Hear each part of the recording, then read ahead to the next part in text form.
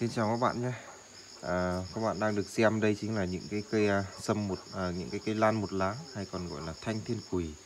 Đấy thì hôm qua anh em mình đi rừng đào về thì bây giờ mình đang à, tiến hành à, đóng gói để gửi đi cho khách. Đấy, thì đóng gói gửi đi cho khách thì cái cây thanh thiên quỳ của mình thì là cái cây hàng à, lấy đào trên rừng về là mình sẽ gửi đi luôn cho các bạn. Thì là à, các cô chú anh chị em nào mà à, muốn lấy về à, làm thuốc hoặc là lấy về trồng thì đều được các bạn nhé hàng thì mình sẽ gửi tươi đi. Nhận hàng thì cây nó vẫn à, xanh tươi như thế này các bạn ạ. Lá rất là cứng cáp.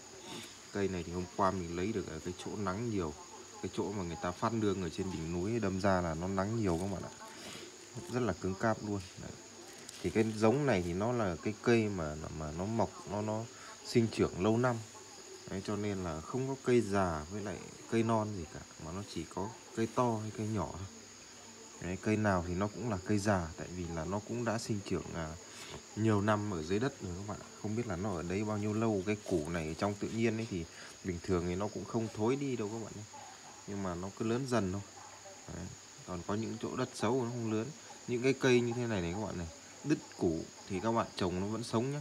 Tại vì bên trên thì nó là một hệ thống à, um, mầm và rễ. Đấy, nó có rất là nhiều lông hút không nhất thiết là phải có củ thì thì trồng mới sống đâu. Không có củ trồng vẫn sống. Cái củ này thì nó là cái đóng cái vai trò là dự trữ. Đấy, khi mà mình trồng mà không có củ ấy là mình phải à, chăm sóc nhiều hơn. À, tưới tắm lúc nào nó cũng mát mẻ thì là nó sẽ phát triển bình thường. Cái này củ rất là to các bạn ạ. Cái cây à, thanh thiên quỳ này cây thanh thiên quỳ hay còn gọi là lan một lá nó là một cái cây thực vật thuộc cái dòng lan. Đấy, thì là cái cây này thì là nó có những cái công dụng mà rất là tốt cho cái lá phổi. Nó đặc biệt dành cho lá phổi mà mình vẫn à, giới thiệu cho các bạn mà các bạn cũng có thể tìm kiếm được những cái thông tin về nó. Thì cái cây một lá này thì là có những trường hợp là ở những cái ở cái khu vực mình thôi các bạn ạ. Có những trường hợp mà người ta đi viện mà cái lá phổi nó bị hỏng hết đấy các bạn người ta hút thuốc rồi là các thứ này cái lá phổi nó gọi là nó hoại tử hết những cái cái cái cái tế bào đi hỏng hết phổi đi đi viện là gọi là điều trị thì đã bệnh viện người ta đã không thể nào mà, mà cứu chữa nổi nữa rồi. Thì về nhà thì là đi lấy thuốc nam thì người ta đi tìm được cái cây thanh thiên quỳ này lấy về dùng. Đấy thì là sau một thời gian sử dụng cái cái cây thanh thiên quỳ này vào thì là sức khỏe người ta lại hồi phục bình thường.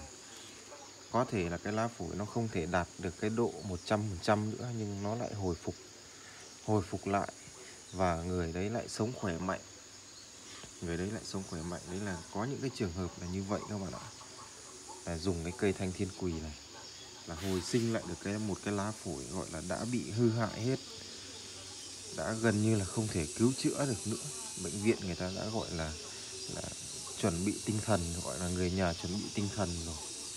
Đấy nhưng mà khi mà tìm kiếm được cái cây thuốc nam cái cây thanh thiên quỳ này vào thì lại, lại hồi sinh cái lá phổi. Thế thì là trong à, đông y người ta sử dụng cái cây thanh thiên quỷ này nó là một cái cây thuốc để bổ phổi và hồi sinh lại lá phổi. Đấy, những người hay mắc những cái chứng bệnh về phổi viêm phổi rồi là ho hen các thứ này hoặc là phổi cả cái vấn đề mà có những người người ta gọi là bị ung thư phổi, thì có người ta cũng gọi là đến mức là không không biết làm sao được. Nói chung là những cái bệnh mà nó gọi là rất khó để điều trị, đấy, thì là tìm được cái cây thuốc này về sử dụng thì có những trường hợp lại có thể giải quyết được một cách dễ dàng nhờ những cái cây thuốc nam, những cái cây thanh thiên quỳ như thế này. Đấy là mình có những có khách đợt năm ngoái mình mình mình đi đào, mình quay video. Ừ, thì là mình cũng không nghĩ là nó thần thánh đến mức độ đấy. Thì thường là những cái người người ta ờ, làm thuốc ờ, bán cây, cối, bán thuốc thang các thứ thì người ta sẽ thần thánh hóa những cái cây thuốc của người ta lên. Thế thì là mình thì, mình chỉ quay để nhận biết ở trên rừng các thứ thôi.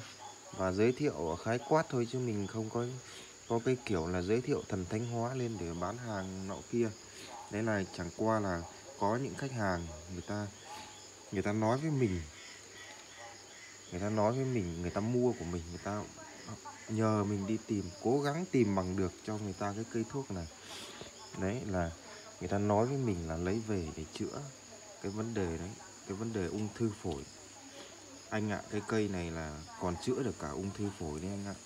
Người ta làm thuốc, có những người người ta làm thuốc mà người ta không thể đi lên rừng tìm được các bạn ạ. Tại vì không biết ở đâu mà tìm những cái cây thuốc như thế này bởi ngày trước Trung Quốc người ta thu mua người ta thu mua khiếp lắm các bạn ạ có những cái ừ, thông tin là từ những cái những cái thời điểm mà mà mà ờ, Việt Nam mình còn đang bị đang bị ờ, Mỹ người ta đô hộ đang bị Mỹ người ta, ta xâm lược ấy.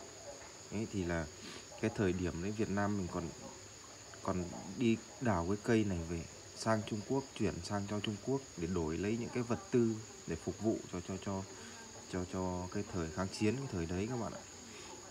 Có những cái cái thông tin như vậy, nó quý, hiếm đến cái mức độ đó, nó quý, nó có giá trị cái mức độ đó cho nên là ở cái vùng mình là cái vùng Lạng Sơn ờ, mình là giáp với Trung Quốc cho nên là lúc nào Trung Quốc người ta cũng thu mua.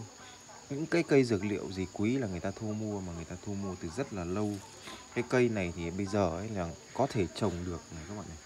Là nhiều nơi người ta lấy về trồng được và thu hái cái phần thân thân ở bên trên bên trên mặt đất nó phần bên dưới củ là người ta sẽ để nó duy trì.